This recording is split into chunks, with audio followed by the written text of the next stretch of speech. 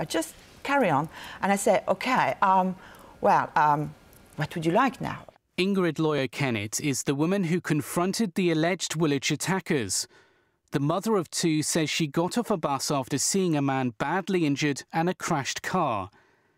As she approached, she saw a woman cradling the man on the floor, and then she spoke with an alleged attacker. Said, uh, don't go too close to the body. I thought, okay. And because I was down, mm. I could see a revolver, a butcher's knife, and the and um, do you know this most axe the butchers have to cut yes, that? Mm -hmm. yes. Yeah, um, that's what he had, and blood all over him. And I thought, what the heck, what happened there? The former teacher says she then just tried to talk to the man while waiting for the police to arrive.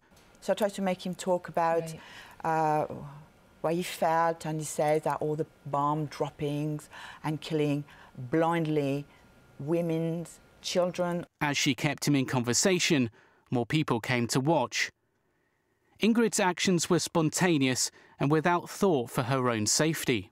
Better me than a child, because unfortunately there were more and more mothers with children stopping around by, so it was even more and more important that I talked to him and, and then I asked him what he wanted.